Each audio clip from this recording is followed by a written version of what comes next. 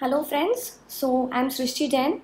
I am going to discuss today the questions of research methodology from paper 1. Uh, the paper is of July 2018. So there are five questions which are going to be discussed today. Don't forget to subscribe to our channel for more beneficial videos. Now, the first question here says, there are two sets given below. Set 1 indicates the types of research, the types of research while the second set indicates the characteristics of the research. Now we have to match both of them. So there are four types of research given here, fundamental research, applied research, action research and evaluative research. So I'll explain to you one by one. So what is fundamental research? So fundamental research is basically when a researcher wants to expand his knowledge, he just adds to the existing pool of knowledge the fundamental research is of no practical implication right now at the present moment, but the fundamental research is useful for future researchers. So they could, uh, for example, the fundamental research is used for the applied research. So fundamental research on its own is not beneficial at the present moment, but it is useful for further researches. Now, it is driven by the curiosity of the researchers. It is extensive in nature and academic in nature.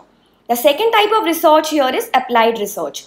Now applied research is basically, uh, it is used to solve the specific practical questions. It has a general application. It can be used for policy formulation, administration and for understanding the concept or a phenomena. Now fundamental research can be used for applied research as I have told you now I would explain it to you by an example.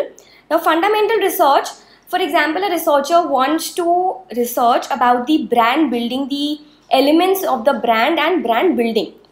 Now the applied research, the specific question here, if an organization wants to improve its reputation through brand building so it can use the fundamental research already done by the researcher to improve his brand building. Now the third form of research is action research.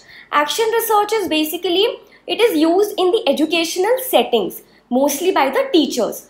So, uh, in action research, only thing uh, it is here is that there is no specific problem, there is no problem, but the researcher wants to improve his skills to enhance his efficiency. For example, a teacher is there and he wants to improve his way of teaching. So what he do is he firstly act then he firstly plan sorry he firstly plan then he acts then he observe and then he reflects now uh, i will tell you each step in detail in the next question which is uh, belonging to this part.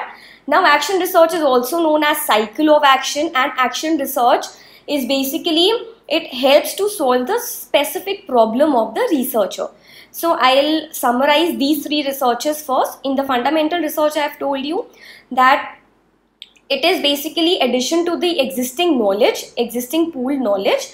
The applied research is basically of general application and action research is of the specific problem of the researcher. The fourth type of research here is the evaluative research.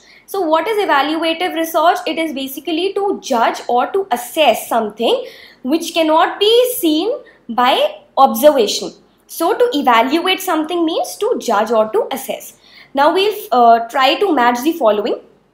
Fundamental research, as I have told you, that it basically adds to the pool of knowledge. So A to 2. Applied research is basically exploring the possibility of a theory for uh, use in various situations because it has a general application.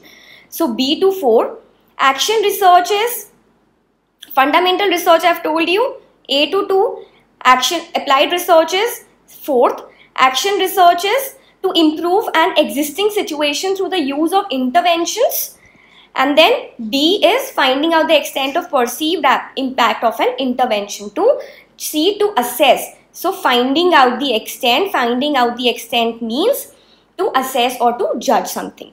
So the correct option here is option number A. Next we move on to the second part. Which of the sets of activities best indicate the cyclic nature of the action research? So firstly, the correct answer first is act, uh, the correct answer is a plan, act, observe and reflect.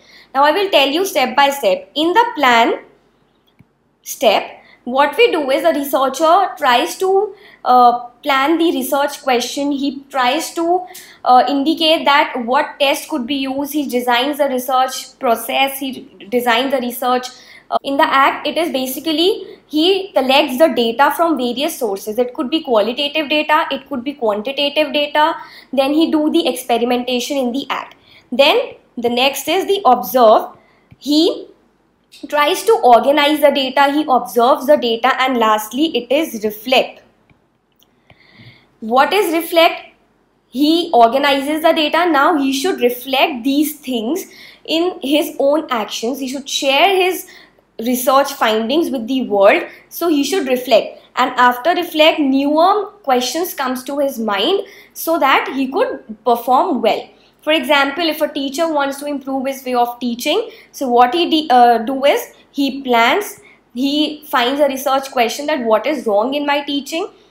Next, he do his act. He collects the data from various students through questionnaires, that is through qualitative techniques. Then he may observe the data and then he should reflect. He should improve his performance while observing the things. So this is a cyclical nature of the action research strategy. So the correct option is option number 4 which is plan, act, observe and reflect.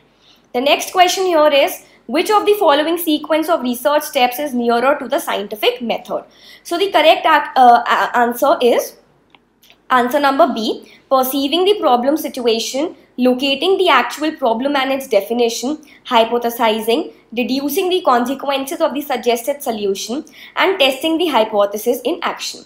Now I will explain it to you through an example.